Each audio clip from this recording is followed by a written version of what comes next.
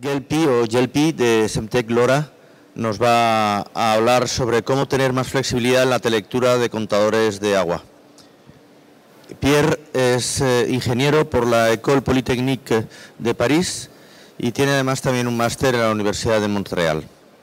Ha trabajado ocho años en I+D I y cinco en la división de empresas de Orange y dos años en, temas de ciudad inteligente de Smart City en Citadel.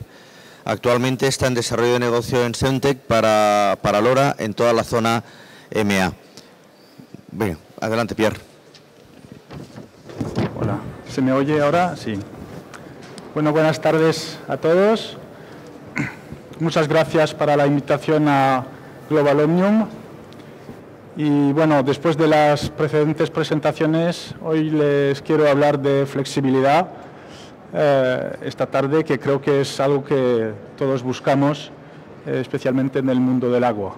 Y claro, represento a la tecnología LoRa, que es tecnología larga distancia, eh, y voy a presentar algunas referencias que ya tenemos en Europa y que, que muestra esta flexibilidad. Bueno, la primera pregunta que tenemos con una tecnología como esta es la cobertura, ¿dónde, está, dónde hay cobertura? Y a ver si...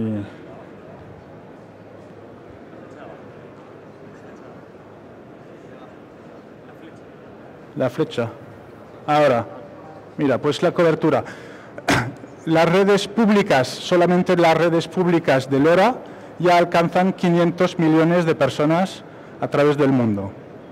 Aquí veis las, las los diferentes países, tenemos bueno, casi 60 eh, países y eh, en los otros países que no hay redes públicas se puede hacer red privadas. Eso es, es, una de las primeras flexibilidades que tenemos con LoRa, es hacer eh, esas redes privadas. Y por ejemplo en España ya hay varias redes privadas regionales a nivel de ciudades y si tenéis algún proyecto de, de contadores de agua o de, de todo otro tipo de objetos, pues no hay, yo diría, no hay problema de, cobertura. Es una, es una tecnología que no tiene un modelo de negocio pegado a la tecnología. Es una tecnología que permite todos los tipos de modelo de negocio y es, es, realmente una infraestructura muy accesible para colectar muchos datos de manera muy, eh, muy abierta. A ver. No voy a entrar en, todos los detalles técnicos, claro, hoy, pero la idea es, la siguiente, es que es un ecosistema abierto donde hay más de 500 empresas que están normalizando el protocolo abierto en la LoRa Alliance y en cada, etapa de la cadena de valor hay, varias fuentes. Em, aquí tenéis ejemplos solamente a la, izquierda con los dispositivos. Esta mañana habéis oído hablar de los diferentes fabricantes de contadores y, volveré a hablar de esto un poco más tarde.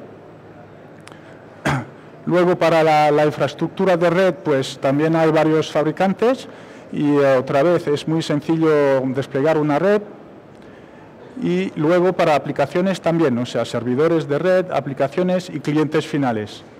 Y en eso también operadores en todo el mundo, operadores han elegido esta tecnología para redes públicas. Como decía, hay redes públicas y redes privadas.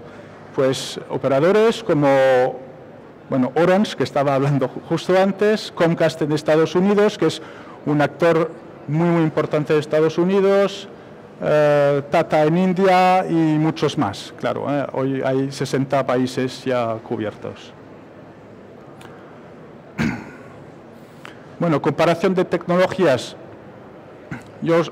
hay muchas comparaciones, eso es solo un ejemplo de, una de las comparaciones eh, que existen.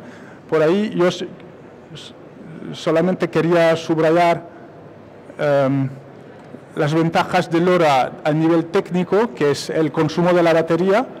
Eh, es realmente la tecnología que consuma menos. Podréis tener contadores de agua que duran más de 10 años con una pila.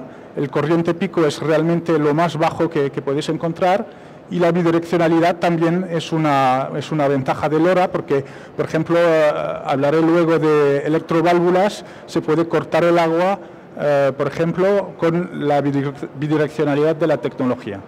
Pero yo creo que realmente la, la ventaja más grande de LoRa es a nivel de modelo de negocio, del punto de vista económico porque es con este ecosistema abierto es mucho más sustentable que otras opciones y y realmente, otra vez, el costo de la infraestructura es, es realmente muy accesible. Y también, otra vez, la posibilidad de redes privadas y de, y de mezclar redes privadas y redes públicas con un roaming completamente natural entre las dos opciones. O sea, se puede densificar una red con eh, antenas indoor eh, muy pequeñitas.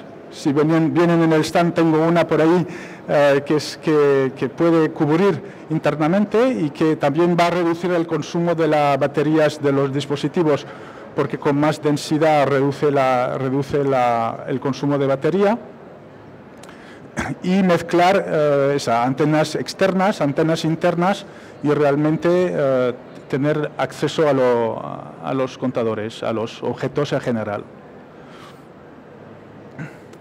Bueno, eso es un poco los diferentes puntos que quiero desarrollar hoy. Bueno, primero, otra vez, el protocolo LoRaWAN es abierto, normalizado por la LoRa con más de 500 empresas en dos años que van contribuyendo y os invito a venir a contribuir a mejorar este protocolo.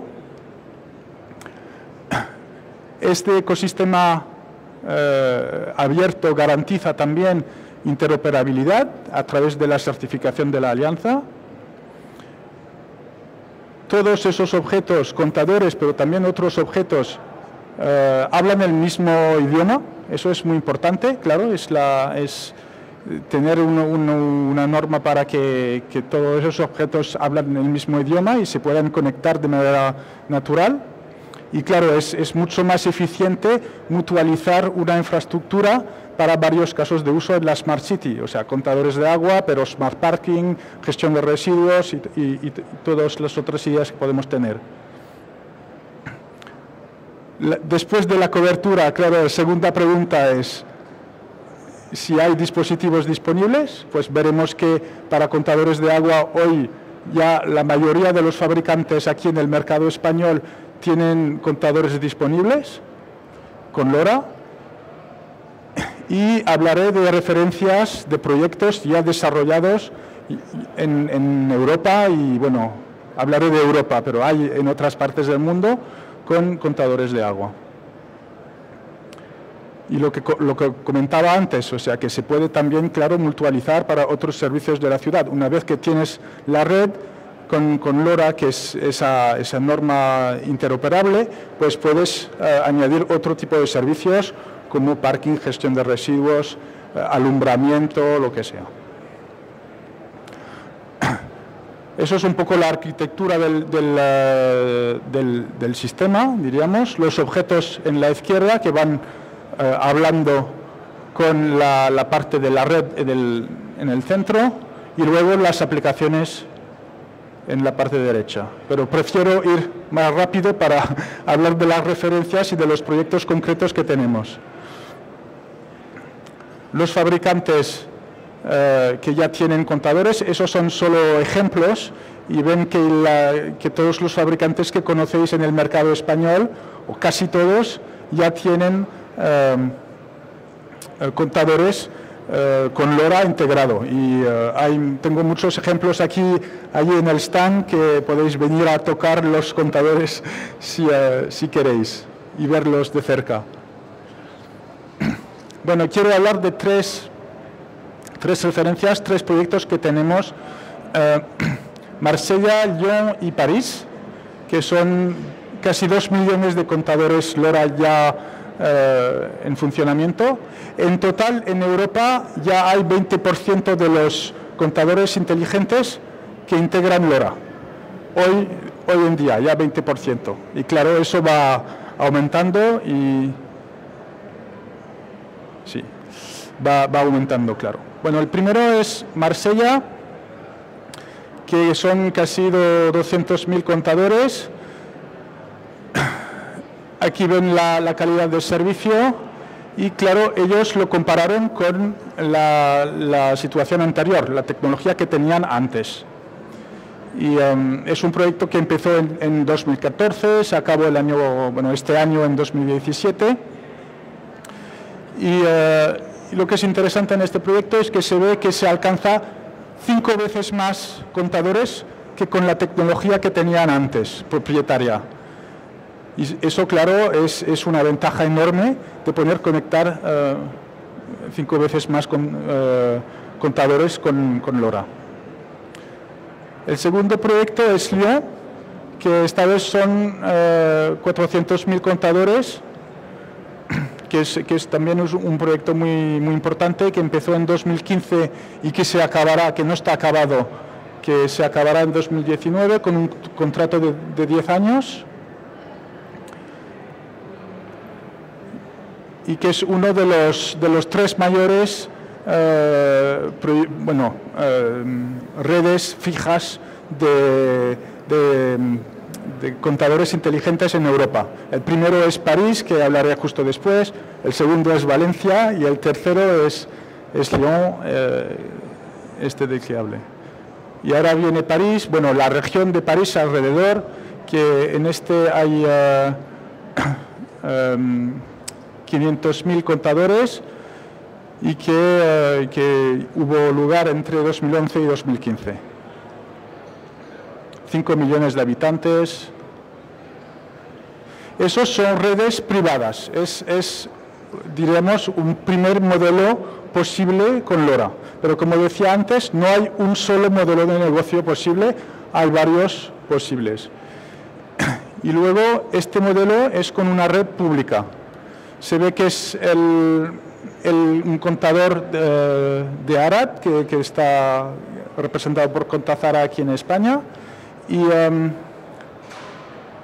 el operador es Bouygues en Francia, Obgenius, el proveedor de soluciones Marteo, y bueno, solo son 10.000 contadores eh, de momento, pero es solo un ejemplo para mostrar que hay redes privadas, redes públicas y, um, y, y, también otro, otro ejemplo aquí en África, donde claro la, el agua es un recurso muy importante, en ese caso tienen un modelo de prepago, o sea que pagan el agua primero, eh, es un poco lo que se mencionaba antes uh, de nuevo modelo de, uso, diríamos, y en ese caso usan uh, electroválvulas para cortar el agua. Con otro fabricante, Baelan, que, que, no se vende en España de lo que, de lo que sé, pero que también tiene uh, cortadores LoRaWAN y electroválvulas para cortar el agua cuando se acabó el consumo de, que estaba pagado por, por el usuario. Bueno, y uh, después de haber enseñado todo eso, quizá os preguntáis muchas cosas y quería enseñar eh, esa herramienta que, está un, eh, que es una herramienta un poco de comparación de los modelos de negocios que son posibles. Y bueno, es algo que se parametriza, claro. En horizontal aquí, a ver si funciona eso. No, bueno, en horizontal tenéis el um, número de contadores por antena, por, por antena. Y um, y la, lo, las diferentes curvas, las diferentes, eh, son diferentes tecnologías, los diferentes colores. Y se puede encontrar dónde, qué tecnología es más interesante que la otra. Y con, con LoRaWAN estaremos a, yo diría, miles de, de contadores por antena, que saldrá de la imagen, porque aquí no sé si se ve bien, pero va entre 0 y 600, pero con LoRa tendremos aún más y podréis comprobar uh, directamente qué tecnología es, más interesante que la otra. Bueno, espero que uh, he podido dar unos ejemplos concretos de la flexibilidad que, que lleva LoRa y que permite LoRa para contadores de agua y otro tipo de servicios para la Smart City.